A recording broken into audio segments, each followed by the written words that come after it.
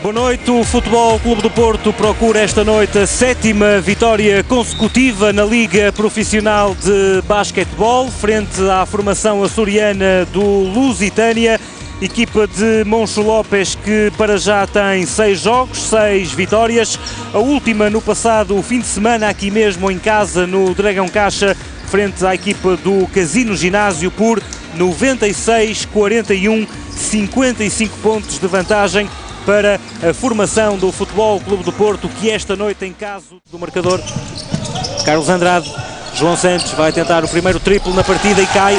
Dois, dois pontos. A pisar a linha e, portanto, apenas dois pontos para a equipa do Futebol Clube do Porto, que não deixa de ser a equipa do Futebol Clube do Porto. Ricky Franklin. Triplo para Augusto Sobrinho.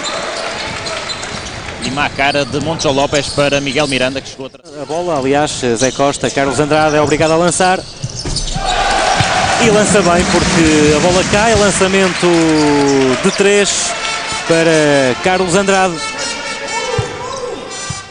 Mais um ressalto para o atleta do Futebol Clube do Porto, João Santos, sem oposição, perfeito este lançamento de 3 do 25 do Futebol Clube do Porto. Costa Nuno Marçal. Grande cesto do capitão da equipa do Futebol Clube do Porto. Não para de crescer a conta azul e branca. 35 para o Porto, 12 para o. É verdade. Tudo a 100% é inacreditável. E o melhor é que marcou muitos. João Santos. E mais um. Hoje acho que o Lusitânia vai ser massacrado aqui no Dragão. De facto, uma exibição perfeita da equipa do Futebol Clube. Faltam jogar 7 minutos e 40 no segundo período. Números sensacionais para a equipa do Futebol Clube do Porto. Agora um triplo para Ricky Franklin. Isto parece-me vai tomar proporção ao Clube do Porto. Mas na altura demorou o processo de naturalização deste jogador e a operação acabou por, por abortar. Nuno Marçal. Mais três. E mais uma vez a cair o lançamento exterior do capitão da equipa do Futebol Clube do Porto. Continuam 100% da linha 3 pontos.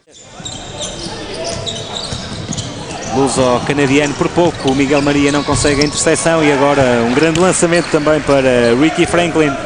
3 pontos para a formação do Lusitânia dos Açores. João Santos, Stampin.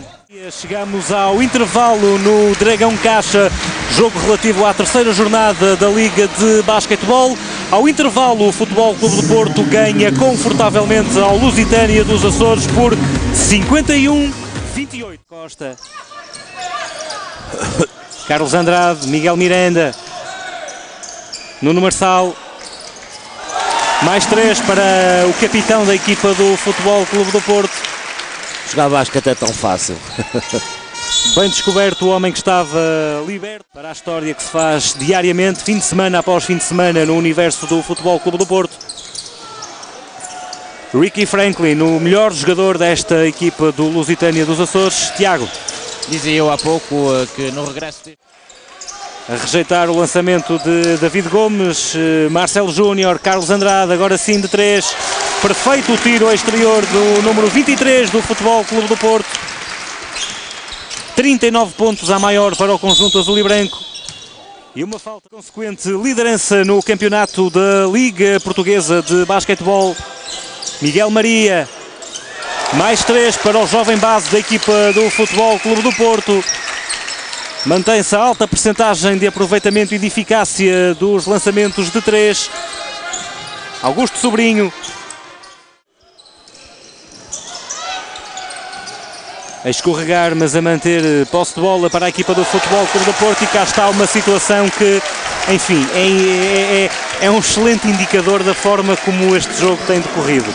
David Gomes de 3 e a bola cai. Em do Porto. Sim, de, tanto de, dos adeptos de um lado como do outro das bancadas do Dragão Caixa a vibrarem muito com os jogadores portistas, nomeadamente e principalmente com o jovem Miguel Maria, a ele que tem reunido mais apoio por parte do jovem Miguel Maria, a ele que tem reunido mais apoio por parte dos adeptos portistas, que no entanto, obviamente, apoiam toda a equipa. João Santos Mais 3 para a equipa do Futebol Clube do Porto e de facto de 3 em 3 o resultado tende a avolumar-se cada vez mais, Rui. Já vamos em 50. 50 pontos de vantagem. Recordo que a equipa do Futebol Clube do Porto, 49 para o Lusitânia dos Açores. 49 pontos agora, porque o Lusitânia tem 51. 49 pontos de vantagem para a equipa do Futebol Clube do Porto.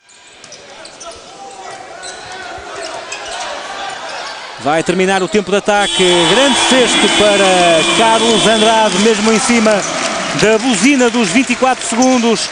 Bom roubo de bola para André Boavida, com alguma felicidade. Ricky Franklin. E agora sim vai terminar esta partida relativa à terceira jornada do campeonato da Liga de Basquetebol no Dragão Caixa. Vitória expressiva, mais uma da formação do Futebol Clube do Porto sobre o Lusitânia dos Açores. 45 pontos de diferença, 105 para a equipa do Futebol Clube do Porto, 60 para a formação do Lusitânia dos Açores.